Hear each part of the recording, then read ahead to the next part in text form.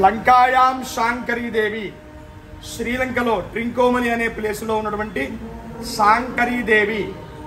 ప్రథమ పీఠము. పద్దెనిమిది పీఠములలో ప్రథమ పీఠం. కామాక్షి కంచికాపురే. కాంచీపురంలో కామాక్షి దేవిగా. ప్రద్యుమ్నే శృంఖలాదేవి ప్రద్యుమ్నలో గుజరాత్లో శృంఖలాదేవిగా ఇలా చాముండే క్రౌంచపట్టణే. పూర్వం క్రౌంచపట్నం అని పిలిచేవారు మైసూర్ చాముండేశ్వరి దేవి. అలంపురే జోగులాంబ. మొన్నటి వరకు నాలుగు పీఠములు మనకి ఆంధ్రాలో ఉండేవి ఇప్పుడు తెలంగాణలోకి వెళ్ళిపోయినటువంటి అలంపురము జోగులాంబ. అలాగే శ్రీశైలం భ్రమరాంబిక. పూర్వం కరవీరపురం అని పిలిచేవారు ఇప్పుడు కొల్హాపూర్ కొల్హాపూర్ మహాలక్ష్మి. మాహూర్ ఏకవీరిక ఏకవీరికాదేవి మహారాష్ట్ర మాహూర్లో. ఉజ్జయిన్యాం మహాకాళి. ఉజ్జయిని మహాకాళిగా అమ్మవారు. పీఠికాయాం పురుహూతిక. ఇక్కడ మనం చూస్తే కనుక అమ్మవారి యొక్క పీఠ భాగంలో విష్ణు యొక్క సుదర్శనం కనిపిస్తోంది.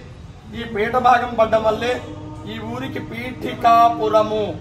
అది బ్రిటిష్ వాళ్ళ టైంలో నోరు తెరక్క పిఠాపురంగా వారు మార్చారు.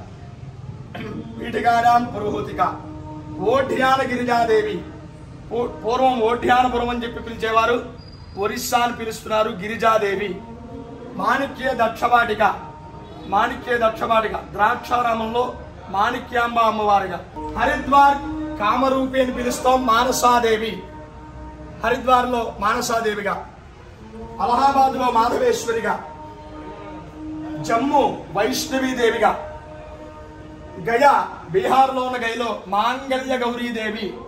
మాంగళ్య గౌరిగా వారణాస్యాం విశాలాక్షి కాశీలో విశాలాక్షి అమ్మవారుగా ఆఖరి పీఠము కాశ్మీర్ సరస్వతీ దేవి తెల్లటి వస్త్రములతో వేణుతో ఉన్నటువంటి సరస్వతీ దేవితో పద్దెనిమిది శక్తి పీఠములు పూర్తయినాయి. ఇక్కడ అమ్మవారిని కింద శ్రీచక్రం తీయండి మొట్టమొదట. కింద శ్రీచక్రము పైన పద్మాసనం మీద కూర్చున్న అమ్మవారు పురుహూతిక శక్తి పీఠము. నమస్కారం చేయండి ఒకసారి.